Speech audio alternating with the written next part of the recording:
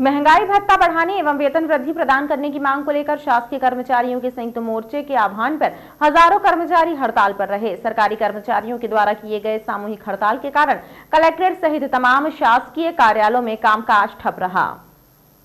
नहीं किसी से मांगते संयुक्त मोर्चा के आह्वान पर बारह सूत्री मांगों को लेकर सत्रह से ज़्यादा संगठनों के कर्मचारियों ने हड़ताल की और लंबित वेतन वृद्धि एवं महँगाई भत्ता बढ़ाने की मांग की। शासकीय कर्मचारियों की सामूहिक हड़ताल के चलते कलेक्ट्रेट, जिला पंचायत, जनपद पंचायत, शिक्षा विभाग सहित तमाम कार्यालयों में कामकाज बंद रहा, जहाँ रोज़ाना लोगों की भीड़ भाड़ नज़र आती है। उन ऑफिसों में सन्नाटा पसरा रहा। आज जबलपुर के साथ साथ इसी प्रकार पूरे प्रदेश के समस्त कार्यालय बंद है।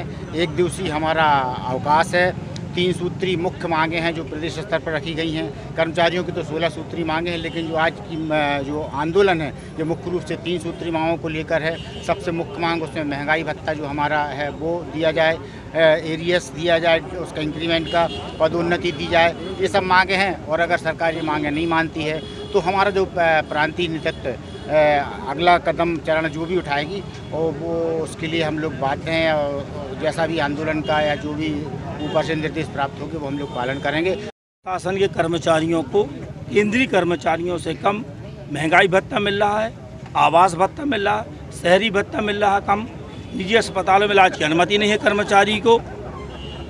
आयुष्मान योजना के अंतर्गत कर्मचारी को लाभ नहीं है, ऐसी पंद्रह सूत्री मांगों को लेकर के आज ये एक दिवसीय अवकाश कर्मचारियों ने लिया है। कि पंद्रह सूत्री मांगों का निराकरण नहीं किया गया तो समस्त कर्मचारी उग्र आंदोलन के लिए बाध्य होगा। पहली मांग ये है कि हमको महँगाई भत्ता दिया जाए।